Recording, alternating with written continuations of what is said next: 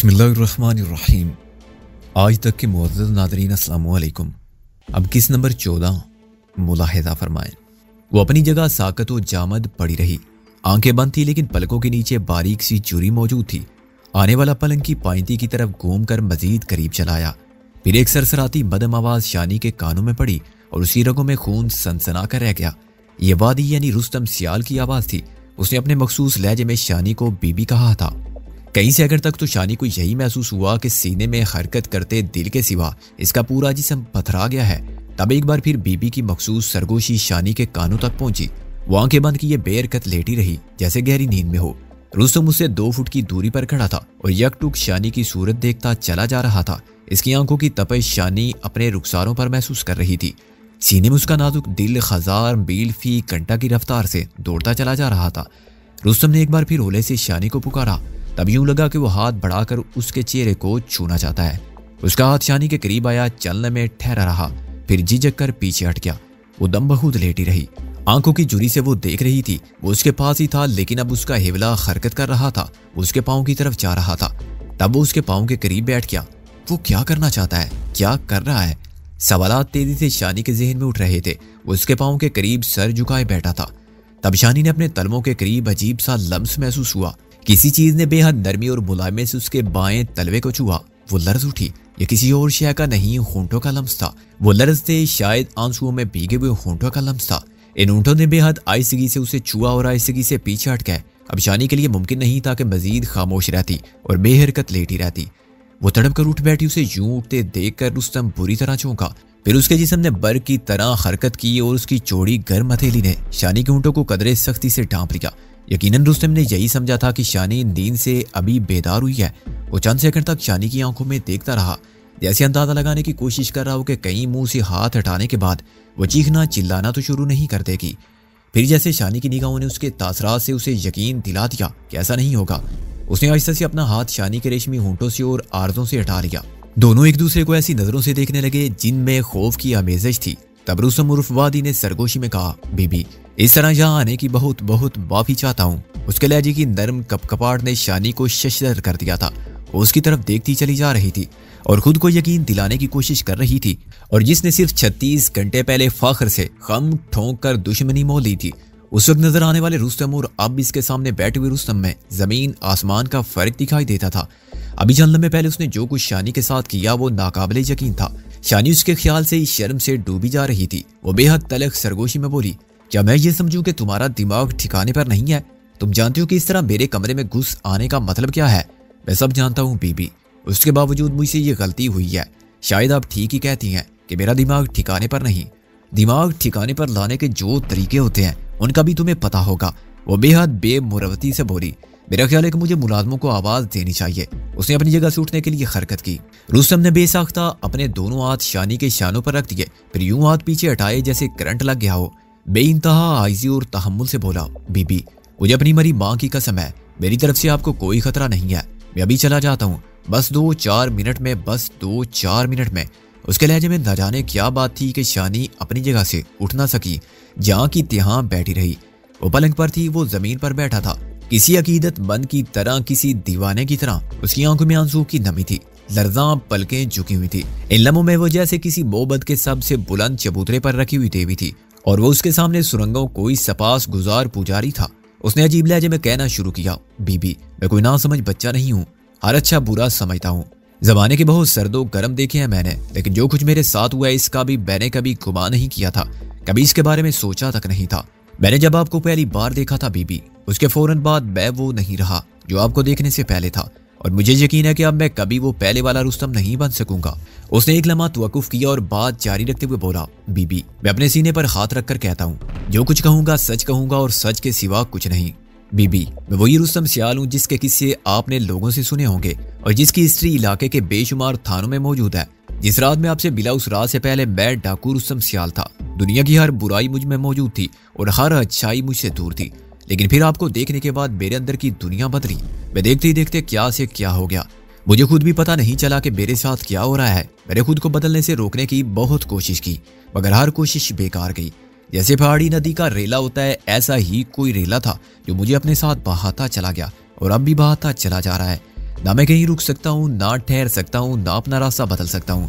میری سمجھ میں کچھ نہیں آتا، میں راتوں رات دیوانوں کی طرح جاگتا ہوں۔ اور سوچتا ہوں کہ یہ میرے دل کو کیسا روگ لگ گیا ہے۔ اس کی پل کے ہمیشہ کی طرح جھکی ہوئی تھی اور وہ بولتا چلا جا رہا تھا۔ بی بی میں سر سے پیر تک بدل گیا ہوں۔ ہر پچھلا ساتھی، ہر پچھلا ناتا ٹوٹ گیا ہے۔ برائی کے دنوں کا بہت سا پیسہ میرے پاس جمع تھا۔ سب کا سب دریا برد کر دیا ہے میں نے۔ ضرورت مندوں کو بھی نہیں دیا کہ مجھے اس پیسے سے دفرت ہو گئی تھی۔ اب اپنی طرف سے کوشش کر رہا ہوں کہ حق حلال کی روزی کماؤں اور اس کوشش میں کامیاب بھی ہو رہا ہوں۔ اپنے باپ دادا کا گھر بیچ کر لوہے کے ایک چلتے کاروبار میں ہاتھ ڈالا ہے۔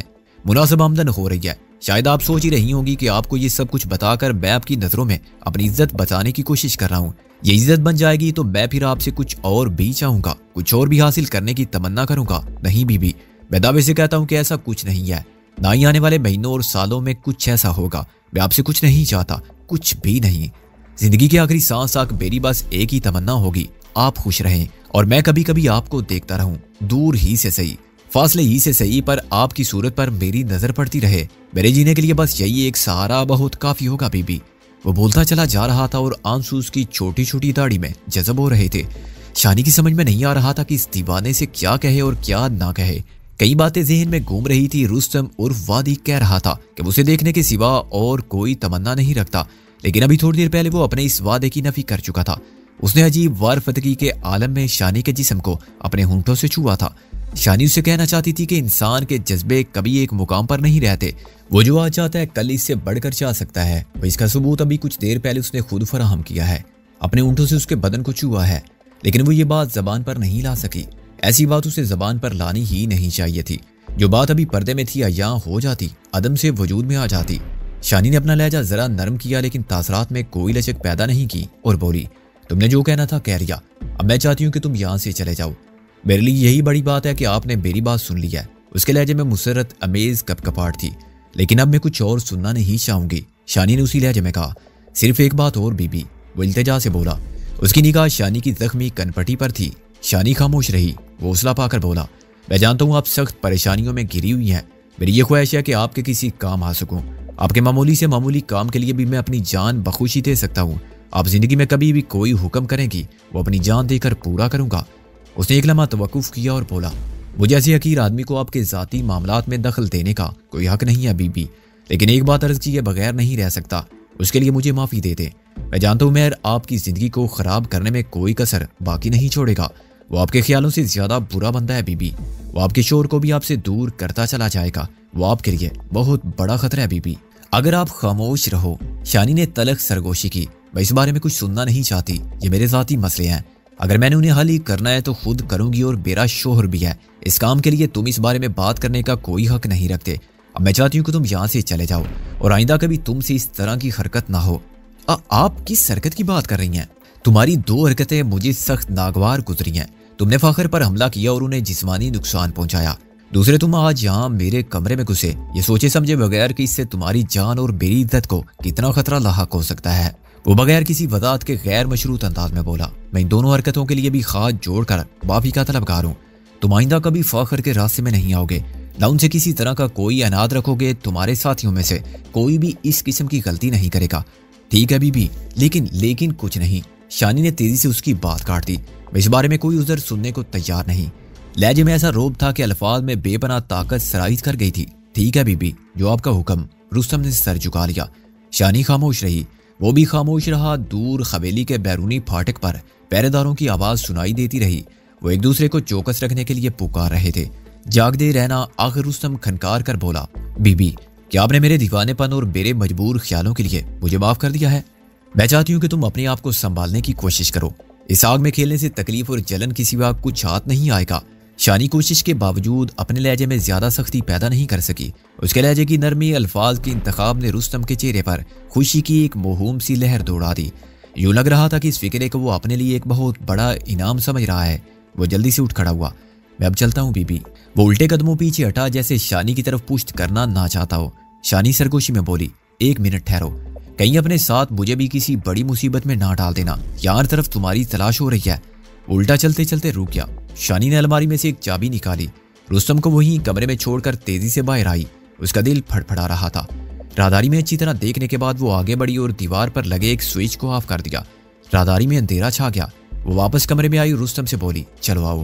اس نے فوراً ہدایت پر عمل کیا اور شانی کے پیچھے آیا۔ اس کے انداز سے عیاں تھا کہ وہ خطرات کی موجودگی کے باوجود انہیں خاطر میں نہیں لا رہا۔ راداری میں پندرہ بیس فٹ آگے ایک بالکل تنگ سی گزرگاہ تھی۔ وہ مشکل سے ایک آدمی گزر سکتا تھا۔ یہ اوپر سے چھتی ہوئی اور بالکل تاریخ تھی۔ وہ دونوں آگے پیچھے اندر داخل ہوئے۔ شانی نے ایک چھوٹے سے دروازے میں چابی گھمائی اور رستم سے بولی، اس دروازے سے نکل جاؤ۔ تھوڑا آگے ہی باہر کی دیوار ہے رستم نے الوداعی فکرہ ادا کرتے ہوئے کہا بی بی ہمیشہ آپ کے کسی حکم کا منتظر رہوں گا شانی کے بدن میں ایک بار پھر پھریری سی دوڑ گئی۔ پتہ نہیں کس لہجے میں بات کرتا تھا یہ شخص۔ لگتا تھا کہ اثر روح تک اتر گیا ہے۔ اس نے کوئی جواب نہیں دیا۔ وہ دروازے سے نکل کر شانی کے سامنے سے گزرا تو شانی خط الامکان خط تک دیوار سے لگ گئی۔ پھر بھی شانی کو کراس کرتے ہوئے رستم کا پورا جسم ایک لمحے کے لیے پورے کا پورا شانی سے بھی سوا ایک بجلی سی تھی جو لپکی اور شانی کے رگے جا میں اتر کر اوچل ہو گئی۔ اگلی لمحے وہ دروازے سے باہر تھا۔ شانی کامتے ہاتھوں اور ماتھے پر نمودار ہوتے پسینے کے ساتھ سٹ پٹائی ہوئی دروازہ مکفل کر رہی تھی۔ کمرے میں واپس آنے کے بعد بھی وہ کتنی دیر تک کسی چڑیا کی طرح سہمی ایک گوشے میں دبکی رہی۔ ہر گھڑی دل کو یہ دڑکا لگا رہا تھا کہ ابھی فائرنگ کی آوازیں آئیں گی اور رکھوالی کے کتے ہوشیار ہو کر شور مچانے لگیں گے، لیکن ایسا کچھ نہیں ہوا۔ ارد گرد کی فضا جو کی تو رہی، دھیرے دھیرے شانی کا خوف کم ہوتا چلا گیا۔ اگلے روز بھی وہ سہمی سہمی پھرتی رہی۔ اسے یوں لگ رہا تھا کہ رات جو کچھ ہوا وہ اس کی پیشانی پر لکھا گیا ہے اور ہر کوئی اسے پڑھ لے گا۔ کم از کم فاخر تو ضرور پڑھ لے گا۔ وہ اپنے آپ پر جنجلا رہی تھی، اس نے ایسی حرکت کیوں کی؟ اگر وہ پکڑا جاتا تو کیا ہوتا؟ اور اگر اس کے کمرے میں پکڑا جاتا تو شاید قیامت ہی ٹوٹ پڑتی۔ شانی سے فاخر کی ملاقات اگلی رات ہی کو ہو پائی۔ اس کے سامنے چائے کی پیالی رکھتے ہوئے شانی کے ہاتھ لرت رہے تھے۔ خوابگاہ کی کھڑکیوں سے باہر خون ہوا چل رہی تھی اور سلک کے نیلے پردے ہولے ہولے ہل رہے تھے۔ شانی سر جھکا کر فاخر کے قریب صوفے پر بیٹھ گئی۔ چائے کی چسکی لیتے ہوئے فاخر کی نگاہیں شانی کے چہرے پر مرکوز ہو گئی فاخر کی سنداد نے شانی کو اور بھی پسل کر دیا۔ اس کا پورا وجود ایک بدم لردش کی زد میں آ گیا۔ ایسی لردش فاخر کے سامنے اکثر اس پر تاری ہو جاتی تھی۔ فاخر نے ہاتھ بڑھا کر شانی کی کنپٹی کو چھوا اور قدرے نرم لہجے میں پوچھا، کیا زیادہ چوٹ لگ گئی ہے؟ نہیں، کچھ خاص نہیں۔ وہ ہولے سے بولی، مجھے افسوس ہوا، اس وقت میرا بوٹ ٹھیک نہیں تھا۔ فاخر نے سپاٹ لہجے میں کہا، شانی خاموش رہی، یہ نرم رویہ فاخر کے عمومی مزاج سے ہٹ کر تھا۔ تام اب کبھی کبھی شانی کو اس رویے کی جھلک نظر آ جاتی تھی۔ کہو تو ڈاکٹر کو بلا دوں؟ نہیں، اب میں ٹھیک ہوں۔ چلو کل تمہیں رنگ والی لے چلیں گے، وہ فراخ دلی سے بولا۔ لیکن آپ کی چوٹیں تو ابھی ٹھیک نہیں ہوئی میری چوٹ بھی ابا جی کو نظر آئے گی۔ خواہ مخواہ پریشان ہوں گے۔ وہ باری برکم انداز میں ان سب مردوں کو چوٹیں لگتی رہتی ہیں۔ رہی تمہاری چوٹ تو اسے چھپا لینا۔ یوں کر کے اس نے شانی کے ریشمی بالوں کو ایک طے ذرا نیچے کھسکا دی۔ یوں اس کی کنپٹی کا زخم چھپ گیا تھا۔ شانی کی اونٹ مسکرانے کے انداز میں ہو گئے۔ وہ جہازی سائز کے پلنگ پر پھیل کر لیٹ گیا۔ یہ سونے کا وقت تھا۔ شانی نے لائٹ آف کی اور اس کے پہلو میں لیٹ گئی۔ وہ دو دن پہلے پیش آنے والے واقعے کے بارے میں بات کرنے لگا۔ وہ ارادہ ظاہر کر رہا تھا کہ رستم سیال سے ایک بار پھر دو دو ہاتھ کرے گا اور دو دو ہاتھ کرنے کے لیے اسے ہر صورت تلاش کروائے گا۔ یوں لگتا تھا کہ وہ شانی کے سامنے اپنی خجالت کم کرنے کی کوشش میں ہے۔ اسے یہ بھی معلوم نہیں تھا کہ جس رستم کو وہ تلاش کرانے کی بات کر رہا ہے، وہ قریب چوبیس گھنٹے پہلے اسی کمرے میں، اسی پلنگ کے قریب موجود تھا۔ گفتگو کرتے ہوئے فاخر کے چوڑے چکلے ہاتھ شانی کی دادک زلفوں سے کھیل رہے تھے۔ وہ دھیرے دھیرے اسے قریب کرتا چلا جا رہا تھا اور اس کی خواہش تھی کہ وہ بھی اس کے قریب ہو، لیکن وہ تو قریب ہو کر بھی قریب نہیں ہوتی تھی۔ اس کا جسم بے شک فاخر کے قریب چلا جاتا تھا، لیکن وہ خود اپنے آپ سے دور کھڑی رہتی تھی۔ ابھی اس کا جوان بدن فاخر کی باؤں میں تھا، لیکن اپنے بدن سے جیسے اس کا کوئی تعلق نہیں تھا۔ وہ اسے لپٹاتا رہا بیتا رہا، اس کے اندر کچھ جگانے کی کوشش کرتا رہا۔ وہ جیسے جیسے کہتا رہا، وہ بلا حجت اس پر عمل کرتی رہی۔ لیکن وہ پر حرارت محبت، وہ دل نواز، سرخوشی کہیں نہیں تھی، جس کا فاخر متلاشی تھا۔ جس کا ہر مرد متلاشی ہوتا ہے، جو قدرت کا انعام ہوتی ہے۔ وہ محبت و فاخر نے ایک بپر ہوئے سانڈ کی طرح خود اپنے پاؤں تلے روندی تھی۔ ایک عرصے پہلے بلیا میٹ کر دی تھی، اب بکھری ہوئی اور بسلی ہوئی پتیوں سے دوبارہ پھول کیسے بنتا؟ وہ کتنی دیر تک بکھری ہوئی پتیوں سے پھول بنانے کی کوشش کرتا رہا۔ جب ناکام ہوا تو جنجلا گیا۔ حسب معمول اس کی حرکات و سکنات کرخت ہوتی چلی گئی۔ شانی کی کنپٹی کے زخم سے خون رسنے لگا۔ وہ اندر ہی اندر کرانے لگی، ایک ناپسندیدہ بوجھ نے اس کے جسم کو دبایا۔ رخساروں پر کانٹے چوبے اور وہ بے حصی بستر پر پڑی رہی۔ لاہور کے ایک اچھے ہاسپٹل میں شانی کے ابا جی کا آپریشن ہو چکا تھا۔ آپریشن کے بعد اگر ان کی حالت بہتر نہیں ہوئی تھی تو اس میں ٹھہراؤ ضرور آ گیا تھا۔ چچا رئیس تو بما ایل و اجال لندن جا چکے تھے۔ اب صرف چھوٹے چچا مرحوم کی بیوی چچی پروین تھی جو ابا جی کی دیکھ بھال کرتی تھی یا پھر تایا معصوم تھے۔ رنگ والی آنے کے بعد شانی کا دل بہت چاہا کہ وہ چند روز ابا جی کے پاس رہے اور ان کی دیکھ بھال کرے، مگر فاخر اس کے لیے راضی نہیں تھا۔ وہ شانی کو اپنے ساتھ واپس لے جانا چاہتا تھا۔ ہاؤس نے اتنی رعایت ضرور کی کہ رنگ والی میں اپنا قیام بڑھا دیا۔ اب انہیں ایک کی بجائے دو راتیں رنگ والی میں رہنا تھا۔ شام کے وقت فاخر اپنے مقامی دوست سے ملنے گیا ہوا تھا۔ شانی کچھ دیر آرام کرنے کے لیے سیڑھیوں کی ریلنگ سے ٹیک لگا کر بیٹھ گئی۔ سنگے مرمر کی یہ سیڑھیاں بے حد شفاف تھی اور قریبی جروکے سے بڑی خوشبودار خوا آتی تھی ان سیڑھیوں پر بیٹھنے کی عادت شانی کو بچپن سے تھی۔ شاید اس وقت سے جب اس نے اسکول جانا بھی شروع نہیں کیا تھا۔ پرانے ملازم خادم حسین نے شانی کو یوں سیڑھیوں پر بیٹھے دیکھا تو آنکھوں میں محبت کی جوت چکائے اس کے پاؤں کی طرف فرش پر بیٹھ گیا۔ کیا حال ہے بابا؟ شانی نے اپنائیے سے پوچھا، تمہارے بعد ہمارا کیا حال ہونا ہے دھی رانی ہر پاس یہ اداسی چھائی رہتی ہے۔ ایسے لگتا ہے کہ کوئی رنگ والی کے سارے رنگ چرا کر لے گیا ہے۔ خالی کمرے کھانے کو توڑتے ہیں۔ آہستہ آہستہ سب ٹھیک ہو جائے گا بابا لوگ آتے جاتے رہتے ہیں پر وقت تو کبھی رکتا نہیں۔ جس طرح پانی اپنا راستہ خود بناتا ہے، زندگی بھی جینے کے بہانے ڈھونڈ ہی لیتی ہے۔ بالکل وڈی آپا جیسی باتیں کرتی ہے تو خادم حسین نے آنکھوں میں آنسو بھر کر کہا، اب دیکھو نا جب وڈی آپا دنیا سے گئی تھی، سب کچھ اندھیرا لگتا تھا۔ لگتا تھا اب کبھی روشنی ہی نہیں ہوگی۔ مگر تم نے دیکھا ہی ہوگا کہ پھر زندگی نے جینے کے بہانے ڈھونڈ دیے۔ چاچا مشتاق، بھائی عادل، ابا جی اور ہم سب نے مل کر اس حویلی میں پھر سے رنگ اور روشنی بھر دی۔ اب چاچا مشتاق نہیں ہے، بھائی عادل بھی نہیں ہے اور میں بھی نہیں، لیکن حویلی پھر بھی ہے، وقت پھر بھی چل رہا ہے۔ خادم حسین نے ادھر ادھر دیکھا، پھر سرگوشی کے لہجے میں بولا، چھوٹا منہ، بڑی بات ہے، دھی رانی۔ لیکن مجھے ایک بالکل خاص بندے سے پتا چلا ہے کہ رستم سیال اور چودھری فاخر جی کے بیچ لاٹھی کا مقابلہ ہوا تھا اور اس مقابلے میں رستم سیال نے فاخر جی کو ہرا دیا ہے۔ تم سے کس نے یہ بات کہی؟ شانی نے ماتھے پر بل ڈال کر پوچھا۔ خادم حسین اس کے ماتھے کے بل دیکھے بغیر بولا، میرے ایک یار کا یار ہے جی گاما گاڑی نام ہے اس کا۔ بیل گاڑی چلاتا ہے۔ اس نے یہ بات بتائی ہے جی۔ اس نے سب کچھ اپنی آنکھوں سے دیکھا تھا۔ وہ تو اپنے آپ میں بہت خوش ہو رہا تھا، کہہ رہا تھا جی کہ رستم سیال جو بھی ہے، جیسا بھی ہے پر اس نے ہم سب کا کلیجہ ٹھنڈا کر دیا ہے۔ ایسا لگتا ہے کہ قدرت نے چھوٹے چودھری صاحب عادل سلطان کی خار کا بدلا چودھری فاخر سے رستم سیال کے ہاتھوں لیا ہے۔ اس نے چودھری فاخر جی کا سارا گمنڈ آن کی آن میں ختم کر دیا ہے۔ بات کرتے کرتے خادم حسین نے شانی کا چہرہ دیکھا اور وہاں غصے کے آثار پائے تو جلدی سے بات بدل جی۔ میرے گاما گاڑی سے کہا ہے منہ سنبھال کر بات کرو۔ کچھ بھی ہے، چودھری فاخر جی رنگ والی کے جوائی ہیں۔ ہم سب کے لیے عزت کی جگہ پر ہے اگر وہ ہارے بھی ہیں، تو اس میں ہمارے لیے خوشی کی کوئی گل نہیں ہے۔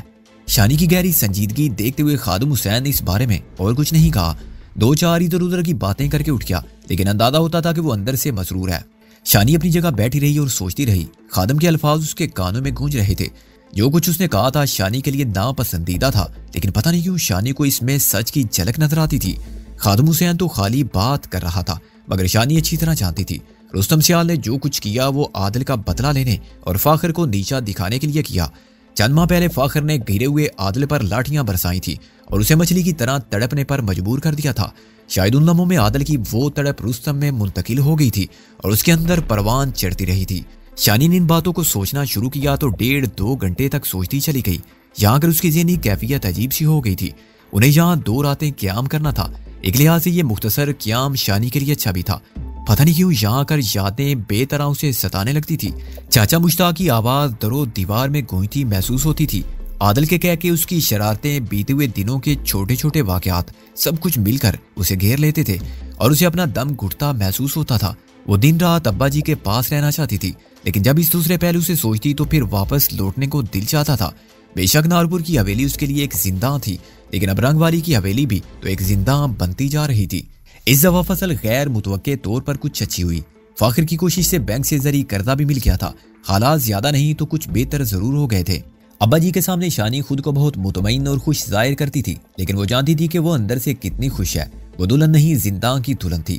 اپنے دکھ کھنسی میں چھپانا ایک نہایت دشوار کام ہوتا ہے اور شانی کو سکینہ کے سامنے یہ کام اور بھی مشکل محسوس ہوتا تھا۔ وہ اس کی راز دان سے ہلی تھی۔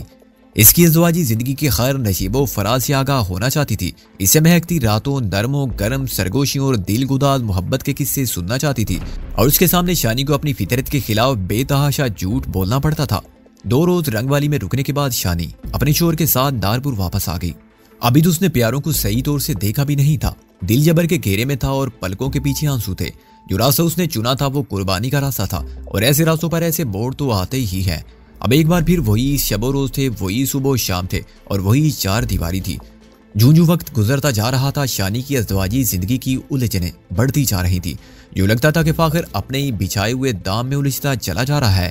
شانی اس کے حکم کی تابع تھی، اس کی بے دام غلام تھی، لیکن اس کی یہ غیر مشروط تابع داری بھی اب فاخر کو مطمئن نہیں کرتی تھی۔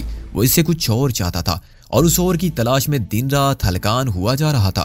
کسی وقت وہ جنونی انداز میں شانی کو بمبور ڈالتا۔ لیکن پھر خود ہی شرمسار ہوتا تھا اور اس کی دل جوئی میں لگ جاتا۔ ایک دو بار اس نے شانی سے باقاعدہ معذرت بھی کی تھی۔ شانی کسن کچھ نہیں کر رہی تھی۔ جو کچھ بھی تھا آپوں آپ ہوتا جا رہا تھا۔ کسی وقت اس نے چاہا بھی اس طرح کے قریب ہو کر فاخر سے دور نہ رہے، لیکن وہ قریب نہیں ہو سکی۔ اس نے رات کے ریشمی اندھیروں میں اپنے دل کی گہرائیوں کو ٹٹولا۔ ان میں سے فاخر کے لیے محبت اور گرم جوشی نکالنے کی کوشش کی، لیکن کامیاب نہیں ہو سکی۔ وہی بے حصی اس پر تاری رہی جو اسے کٹ پتلی بنا دیتی تھی اور یہ کٹ پتلی صرف فاخر کے ہاتھوں کی جنبش سے حرکت کرتی تھی۔ فاخر جو جو ناکام ہو رہا تھا، تو تو اس کی حالت ابتر ہوتی جا رہی تھی۔